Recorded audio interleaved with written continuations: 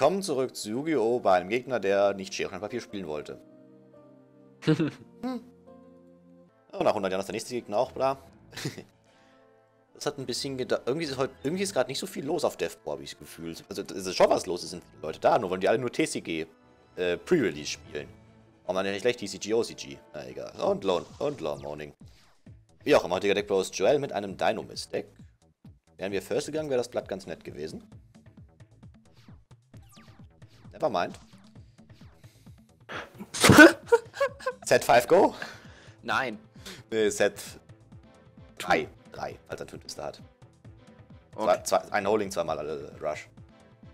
Ja.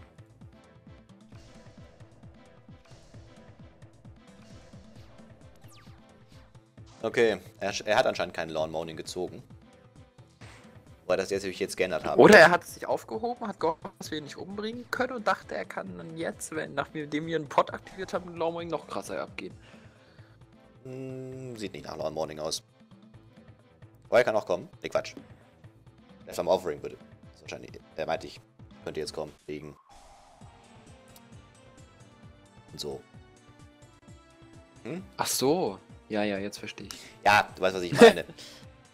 Man spielt ja gerne Dingens hier. Verschwinden vor Was? dem Lord. Ich nehme alles zurück, überhaupt das Gegenteil. Wahnsinn. Ja, das ist wirklich Wahnsinn. Die kenne ich nicht mal. die kenne ich ehrlich gesagt gar nicht, deswegen Ich auch gar nicht, weil die keine Sau spielt. Nee, nee, die, die, ich kenne die nicht im Sinne von, könnte neu sein. Gut, vielleicht tausche ich auch gerade den Namen. So, und jetzt hätte ich gerne eine Scale for free.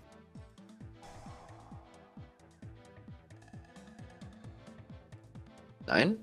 Und wir würden gerne mal. Ja, doch, tatsächlich. Am besten eine High und eine Low Scale, ist ganz gut, habe ich gehört. Aber! Ja, doch! So, also einmal als High Scale. Und Als Low Scale. Ja, das keine der? Ahnung, Baum. Äh, ja. Mhm. Zum Glück nicht gut. Boah, Alter! Geg Was ist das? Was kann der Spinos? Der kann nichts Wichtiges, aber wir, wir Dingens hier. Achso, ja. Dann würde ich sagen, pendeln wir den mal rein und latschen ihm volle Hütte rein. Wir haben noch zwei Rushes, weißt du. Ja. Wir können jetzt auch einen davon gerne aktivieren. Erst reinladen und dann Rush aktivieren. Ja, okay. Ja, ist ja gut, Mensch. Na? Komm, aktiviere deinen Wahnsinn. Was auch immer der macht. Mal sehen wir, ob der neu ist oder ob der eine alte Karte war. Also ich kenne nämlich von Void eigentlich nur die eine Trap, die, die sagt, du darfst in der Standby-Phase zwei, äh, zwei Infernoids millen. Es gab schon zwei. Glaube ich. Ja, stimmt. Und dann gab es noch eine, die war schlecht, aber die ist nicht Wahnsinn. Sicher? Da bin ich mir relativ sicher. Irgendwie, die hat irgendwie gesagt, du darfst in deinem Zug einen millen und in dem... Nee, das, das, das verwechsel ich. Nein, never mind. Ich, ich, ich halte die Klappe. Was war da? War das der Seher? Welche Effekt hat jetzt nochmal der. Spinos? Der über. Er kann den anderen äh, Wegtribut noch nochmal anzugreifen. Das muss, in der Ma- muss man, glaube ich, in der Mainphase machen. Ja, klar muss man das in der Mainfest machen. Dann würde ich sagen, holen wir jetzt einen Rex. Der muss zerstören, ne? Ja. muss er. Das heißt, wir holen jetzt einen Rex. Und dann können wir nämlich äh, Main 2 den einfach den Spinos wegtributen, um ihm ne, um äh, ihm eine Handkarte zu nehmen. Auch wenn ich bezweifle, dass seine Hand Da. so jetzt hat. Lege eine. Ah, das war das. Okay, die ist neu. Oder? Ah ja. Ja, doch, die ist, die ist, die ist, die ist ganz nett. Hm. Ähm, ja, dann würde ich mal sagen, Gönnung.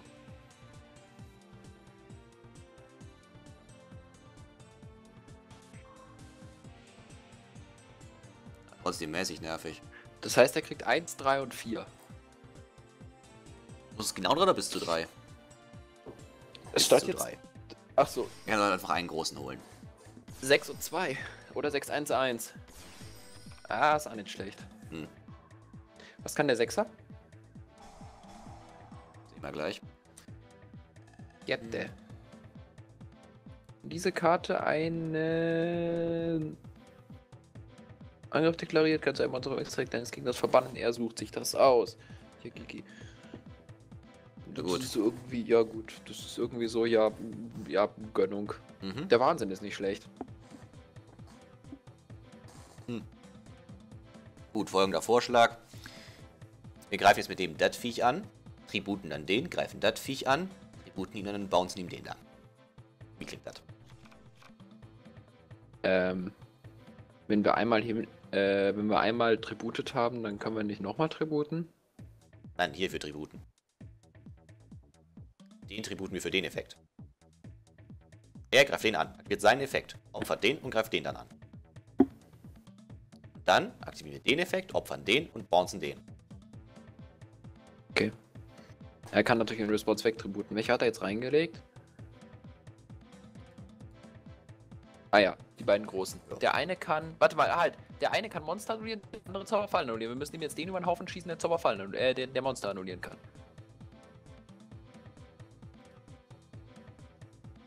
Kurze Frage, was zum Fick laberst du? Wir greifen jetzt einfach an.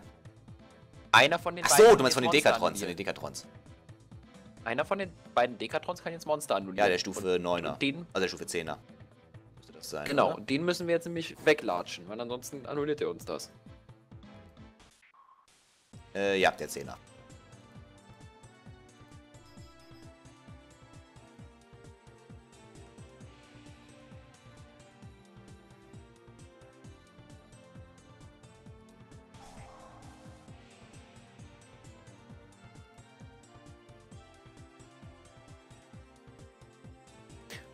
Können ihm auch was eine Karte ins Deck mischen.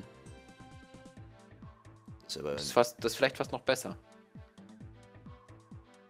ja, dann den da. Dann hat er weniger Material.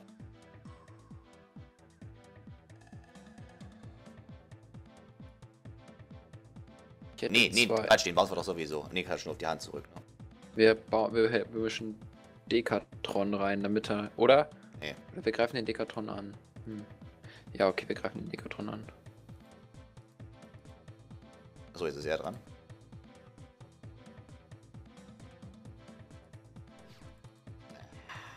Ist lang gelabert. Ja.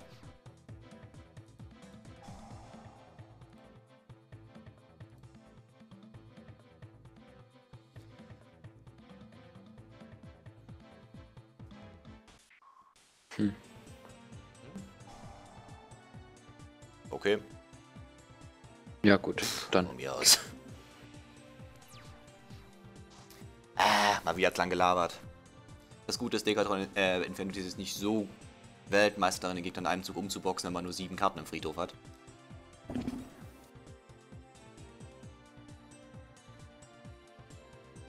Na, er kann jetzt den einen großen raushauen, der alle Zauberfallen banisht.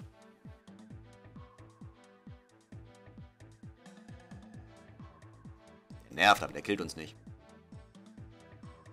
Richtig. Der setzt sogar nur eine Two-Turn-Clock.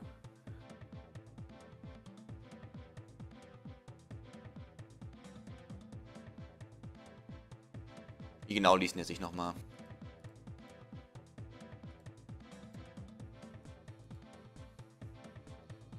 Das ist der andere. Also, äh, Der eine banisht alle Monster und kann dann Zauber annullieren und der andere banisht alle Monster, äh, alle Zauber und kann dann auch Monster annullieren. Unterschied. äh. Dass alle Zauberfallenkarten zerstören, nicht verbannen. Achso, ja gut. Macht einen Unterschied, die landen nämlich im Extra-Deck. Ja, ja, das, das macht tatsächlich. Genau deswegen habe ich ja geguckt. Der nämlich wirklich banished. Okay, der, der Monster, der banisht alle. Und beim Annullieren banishen sie. Richtig, weil der zerstört nämlich auch bloß, glaube ich. Da kommt ein großer. Hm? Hallo Deviati. Aber da kann ich den Rush noch vorher aktivieren, weil der nämlich nur Monster Ja. annulliert. Sehr. Glückwunsch, das war eh gerade eh nicht der Plan gewesen. Okay. Dann Plessy. Ja, der könnte, der könnte durchaus mal, der könnte durchaus ganz gut kommen, ja. Das war schlecht. Gerade eben. Das hätten wir vorher machen müssen. Dann hätte, hätten wir jetzt den anderen angekettet und dann ihm das Viechtel instant zurückgebounced. Was ist das jetzt? Das ist eine Instant Fusion. Aber. Ja doch. Halt wirklich.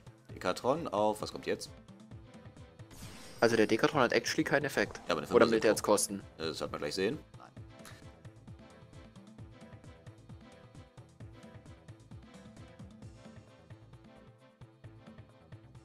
Nein. Armades? Vielleicht. Äh, Hm. Keine Ahnung. C CG.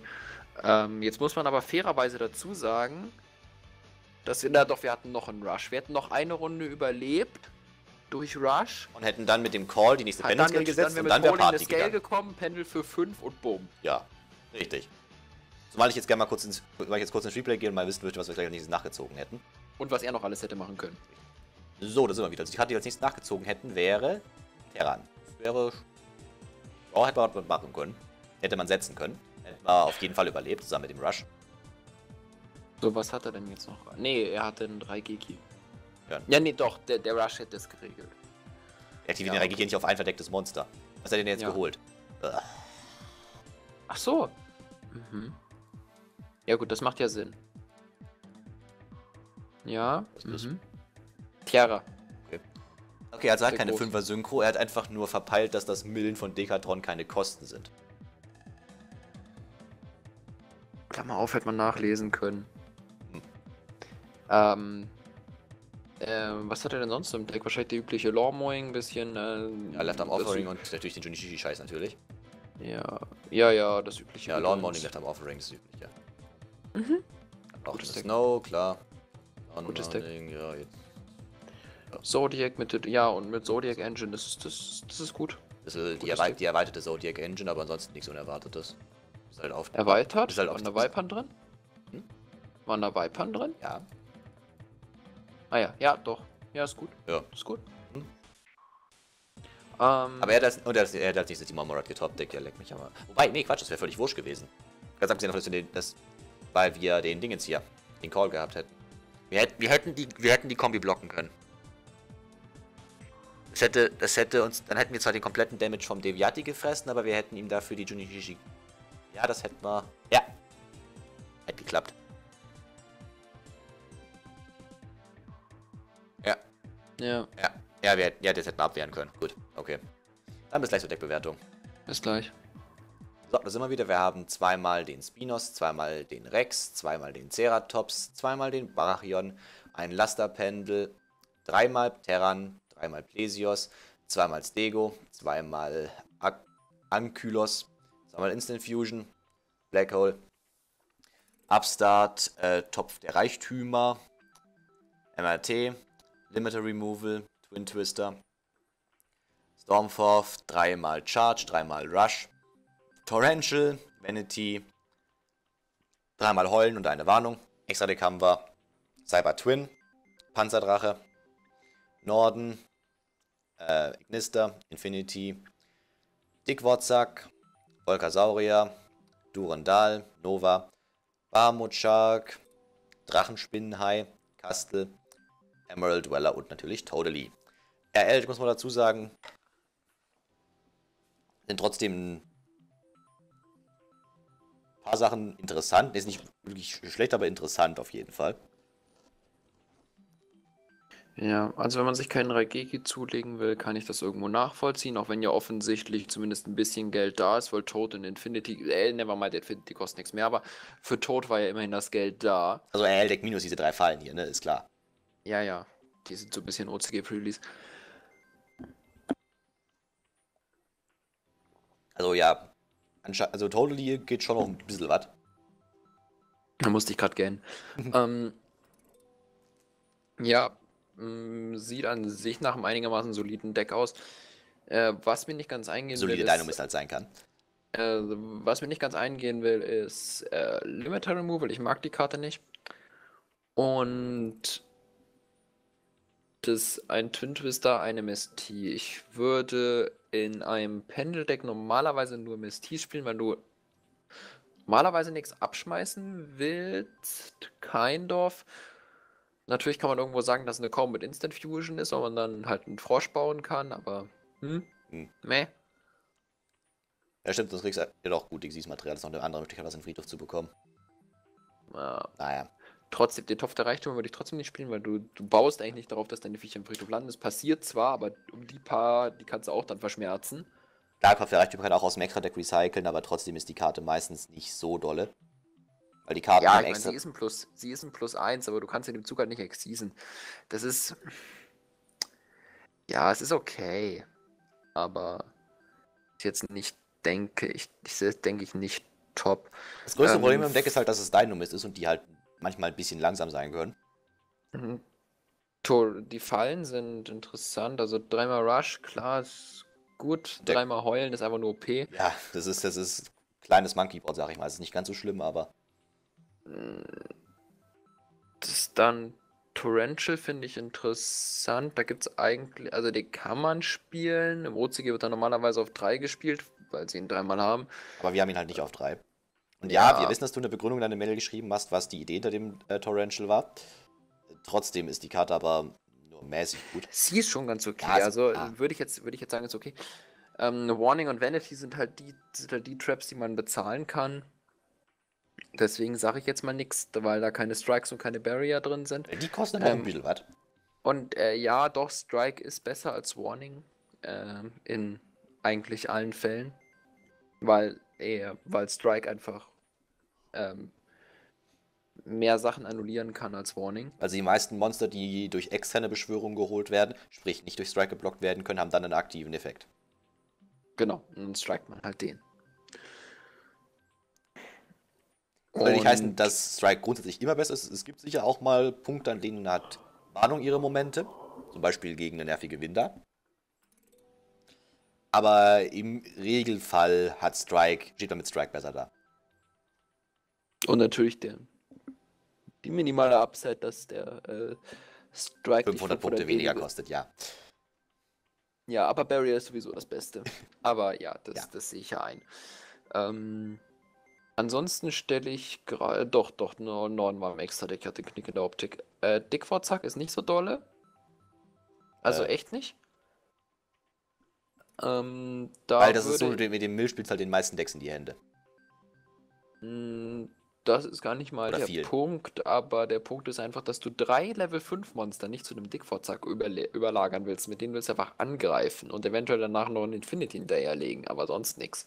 Das ist sicherlich auch richtig. Stimmt, er braucht ja Ähm, drei. Ah, Ja, ja, das ist das Problem. Ansonsten, ansonsten mit zwei Overlane 3200er Beatstick nehme ich schon mal mit, aber nee. Ähm, mit zwei Overlated ist- der nicht 3200 Attacke. Ja, eben. Ich, ich, hätte, noch, ich hätte noch von Attacke gerade schwächer im Kopf. Ich habe gerade gerade irgendwie falsch im Kopf gehabt. Na egal. Ich würde vielleicht auch überlegen, einen Tiras zu spielen, eventuell. Der würde den Job wahrscheinlich besser machen. Ein Hope Vergleich. Dragon finde ich jetzt auch nicht besonders pralle, muss ich sagen. Da gibt es auch wieder Karten, die den Job besser machen, also beziehungsweise einfach so, der, der, ich mag den Hope Weaver einfach nicht so sehr. Er ist so, der Effekt ist so situational. Klar, wenn sie zerstört wird, darfst du ein Monster vom Friedhof specialen, aber du kriegst ihn in deinem eigenen Effekt nicht, du kriegst ihn in diesem eigenen Deck nicht tot, weil er sagt nicht, dass er vom Gegner zerstört werden muss. Aber du kriegst ihn halt in diesem äh, Deck nicht durch Äh. Effekte tot, außer ich habe irgendwas überlesen. Ja, das Darkhold.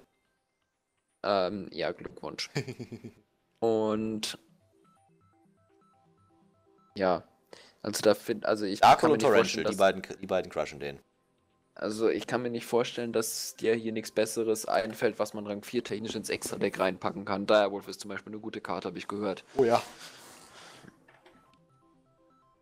Ja, Ja, dann kriegt das Deck so wie es ist 10 Punkte, einfach weil Dynamist gerade nicht das allerstärkste Deck ist. Sicher, Holding ist eine super Karte. Aber es ist trotzdem, ja halt Honing eine, ist echt gut. aber es ist halt trotzdem wieder eine Fallenkarte. Und Ja, aber als damit die- wäre die ein bisschen stark. ja, aber das, das hilft dem Problem nicht, nämlich dem Tempo. Dynamist, hat, Dynamist kann im First Turn nicht so viel hinböllern. Ja, zumindest nicht viel und dabei noch Plus gehen. Du kannst, du kannst natürlich Scale, Scale, äh, Pendel 3, aber Glückwunsch, dann hast du keine Hand mehr. Richtig. Der, die stärksten Dynamist-Karten sind halt fast alles Fallenkarten. Das heißt, die brauchen einen Zug und den geben halt die meisten Deck Decks ihnen nicht. Ja. Deswegen 10 Punkte hierfür. Wenn ihr uns eure Decks schicken wollt, dann guckt in die Videobeschreibung. Ansonsten euch gefallen hat, vergesst nicht zu bewerten. Und das bis zum nächsten Mal. Ciao.